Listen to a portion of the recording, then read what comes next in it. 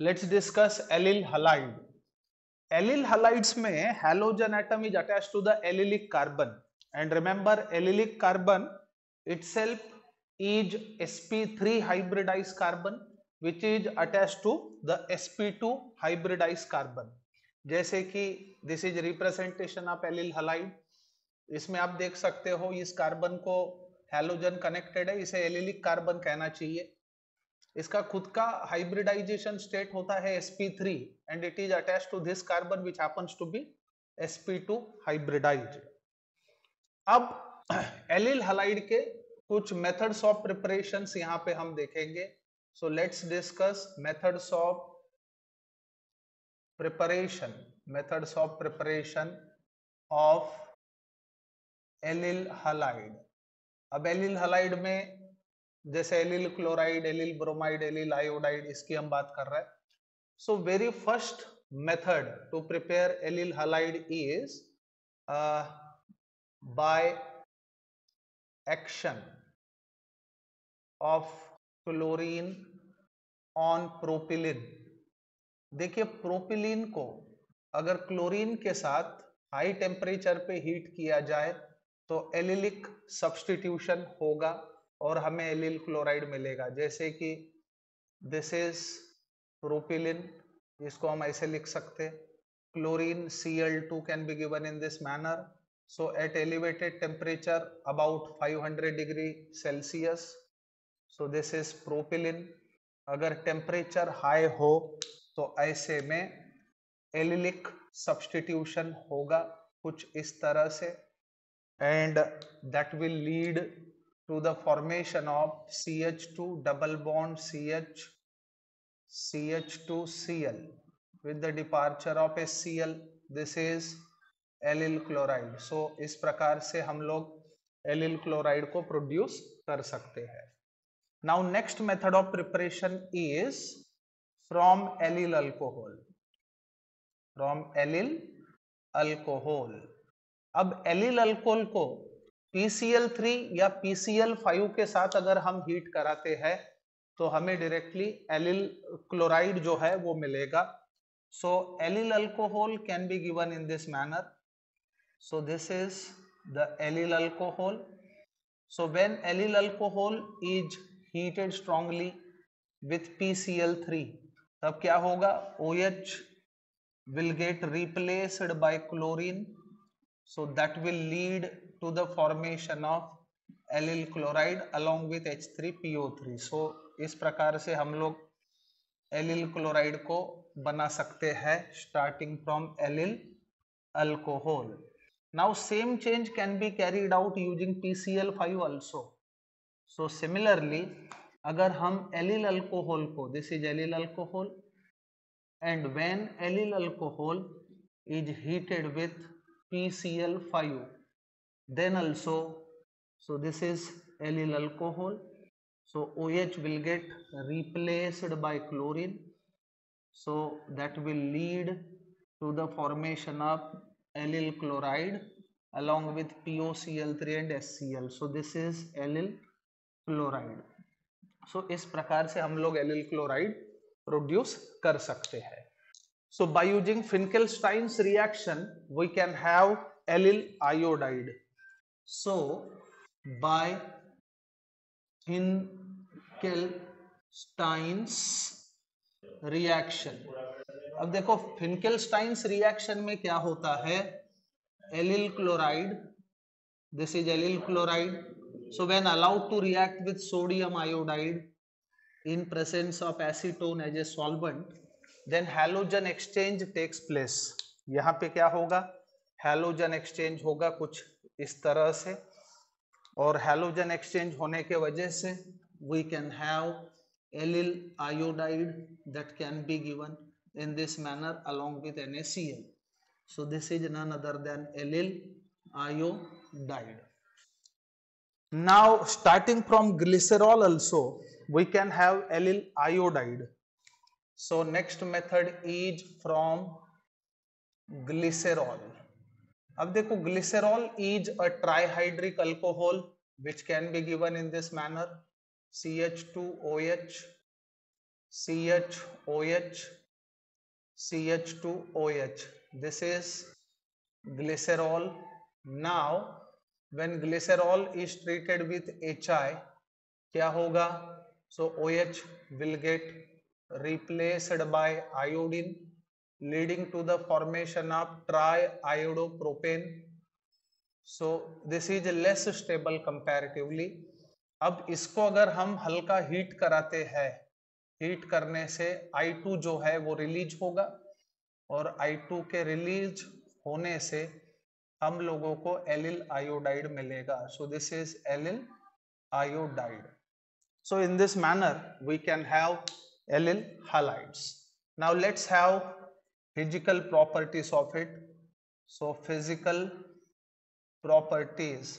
Basically allyl chloride के बारे में हम बात कर रहे हैं। So it is colourless liquid colourless liquid उसके बाद having boiling point having boiling point of 103.1 degree Celsius and it is reactive also it is highly reactive highly reactive अब इसके रिएक्टिविटी के पीछे का रहस्य ये है कि मान के चलो हेलोजन का डिपार्चर अगर होता है तो हमें कार्बोनियम आयन मिलेगा and that carbonium ion is stabilized by resonance that's why it is found to be reactive.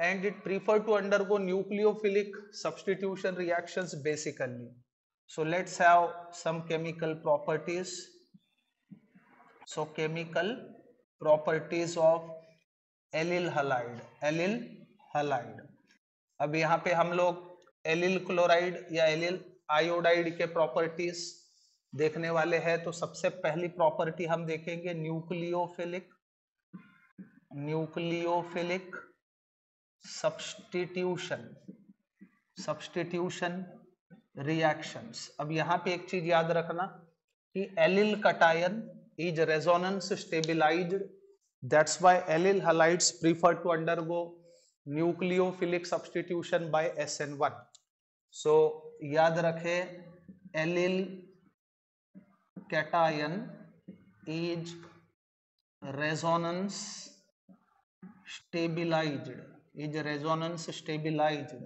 thus allyl halides thus allyl halides undergo undergo SN reactions by SN1 path यानी वो SN1 mechanism follow करेंगे so let's see some of the nucleophilic substitution reactions of allyl halides.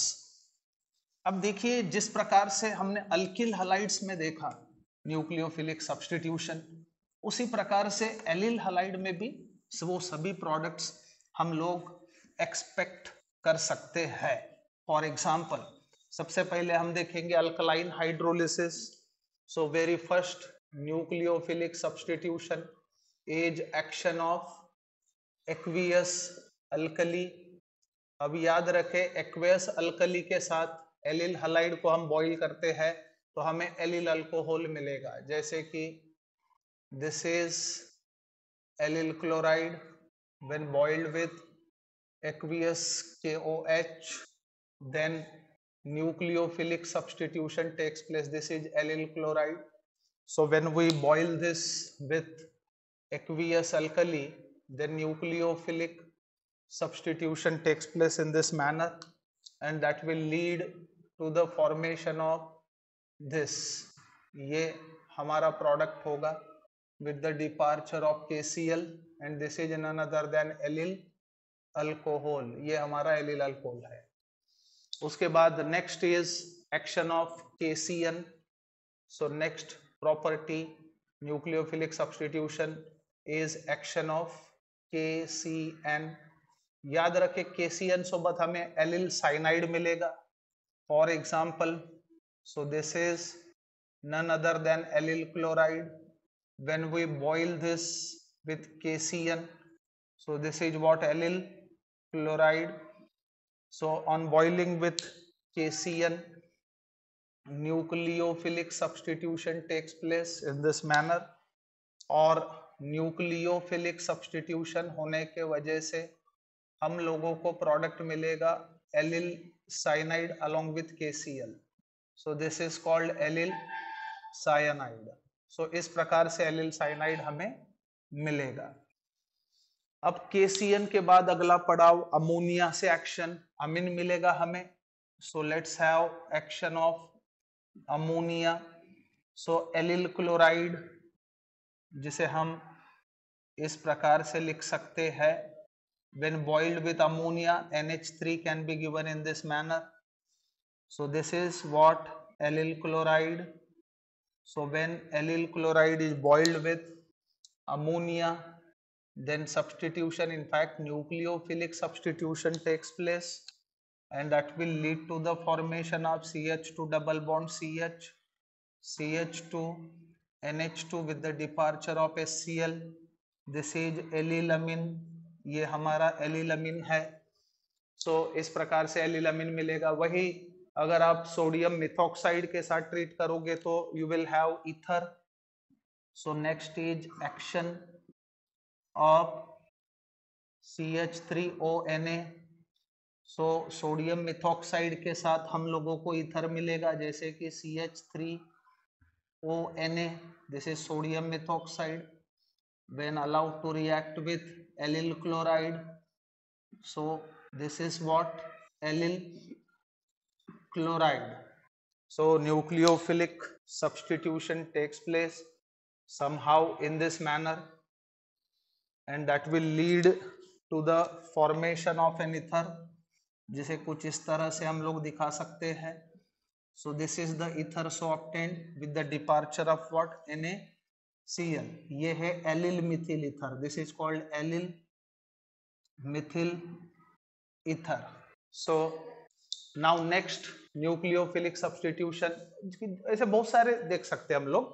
Consider reaction with AgNO2 now let's have action of AgNO2 so AgNO2 के साथ, this is allyl chloride. So when allowed to react with AgNO2 हमें पता है, यहाँ attack करने का काम nitrogen करेगा।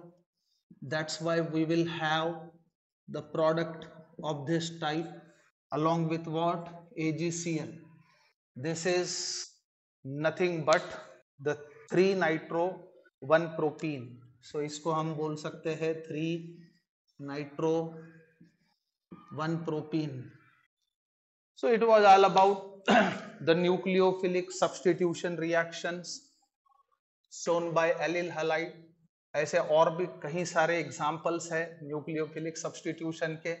और इसमें एक चीज़ हमें याद रखना होगा कि कैटायन कार्बोकटायन स्टेबल फॉर्म होने के वजह से ये पूरे के पूरे जो रिएक्शंस है न्यूक्लियोफिलिक सब्सटीट्यूशन रिएक्शंस वो एस एन वन पाथवे को फॉलो करेंगे, याद रखना। So S N one mechanism से ये सब चीज़ें होंगी। Now second property to be discuss is the addition reactions addition reactions अब हमें पता है कि एलिल हलाइड्स अनसेचुरेटेड होने के वजह से they prefer to undergo addition also so addition में सबसे पहले हम देखेंगे let's have addition of bromine मान के चलो आपने एलिल क्लोराइड लिया। C H two double bond C H C H two C L और इसके ऊपर ब्रोमीन की आपने एडिशन कराई। So this is what allyl chloride. Now when allyl chlorides are allowed to react with bromine तब जाके addition होगा double bond के ऊपर ब्रोमीन की। और एडिशन होने के वजह से you will have addition product C H two B R CHBr, CH2Cl. So this should be the addition product. So इस चीज़ का नाम है one two dibromo one two dibromo three chloro propane so this should be the addition product अब इसके बाद हम बात करेंगे addition of H B R so let's have addition of H B R अब एलिल हलाइड के ऊपर H B R की एडिशन मार्कोनिक अप्स रूल के हिसाब से होगी जैसे कि ये हमारा एलिल क्लोराइड है so when allowed to react with H B R then addition takes place according to Markovnik's rule. So this is allyl chloride. So Markovnik's rule के हिसाब से negative part will go to this carbon and positive part will go to this carbon. So, हम लोगों का addition product होगा C H three C H B R C H two C L this is two bromo one chloro propane so इस प्रकार से हम कुछ addition reactions भी एलिल हलाइड के रिस्पेक्ट में देख सकते हैं. So it was all about allyl halide